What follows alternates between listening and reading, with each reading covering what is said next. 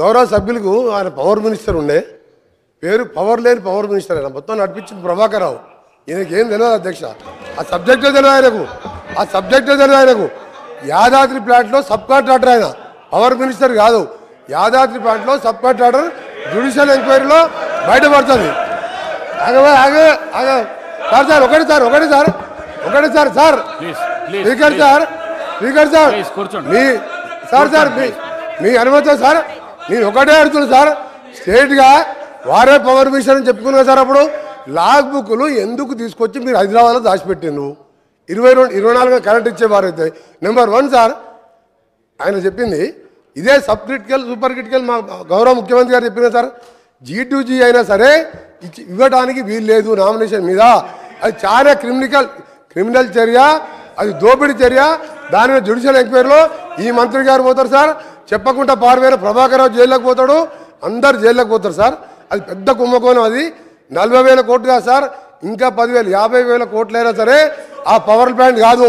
వీళ్ళ దోపిడీ కోసం తినడానికి పెట్టుకున్న ప్రాజెక్ట్ సార్. రెండవసారి ఒకటి రెండవసారి చెప్తుంది సార్ నైన్టీన్ అవర్స్ అంటారు సార్ వాళ్ళు. నైన్టీన్ అవర్స్ మా రిపోర్ట్లో పెట్టింది సార్. పీక్ అవర్స్లో ఒకసారి నైన్టీన్ అవర్స్ సింగిల్ ఫేస్ వచ్చినట్టు చెప్పింది సార్. రైతులకు నైన్టీన్ అవర్స్ ఎక్కడ పెట్టలేదు. నైన్టీన్ అవర్స్ ఎక్కడ రాలేదు సార్. పీక్ అవర్స్లో నైన్టీన్ అవర్స్ వచ్చినట్టు సెప్టెంబర్ మాసంలో వచ్చినట్టు చెప్పింది తప్ప నైన్టీన్ అవర్స్ ఎక్కడ చెప్పలేదు. అందుకనే సార్ వీరు మా. ఆయన గౌరవ గౌరవ మంత్రి గౌరవ ఎమ్మెల్యే గారు గౌరవ శాసనసభ్యులు ఆయన ఆయన ఏం చెప్తున్నారు సార్ ఆయన? ప్లీజ్ మంత్రి గారు. ఇంత నీకు అర్థమవుతుంది రేపు జైల్లో పోయినా అర్థమవుతుంది రేపు జగదీష్ రెడ్డి గారు సార్ సార్ మీరు ఆగ- నీకెందుకు నీకెందుకు శ్రీహరి గారు నేను ఒకటే చెప్తున్నా సార్. మీరు ఒకటే అబద్ధాన్ని ఎప్పుడు ఇరవై నాలుగు గంటలు ఇరవై నాలుగు గంటలు పన్నెండు గంటలు ఎక్కువ ఇవ్వలేదు మీరు ఇవాళ చెప్పిన దాంతో మా పవర్ పవర్ మొత్తం డిపార్ట్ ఇవాళ ఏపీ ట్రాన్స్కో జెన్కో నష్టాలు ఉందంటే దానికి కారణం ఈ పనికిరాళ్ళ చేత కానీ అప్పుడున్న ప్రభుత్వం చేసిన చేతలతో ఇవాళ నాశనం అయింది సార్.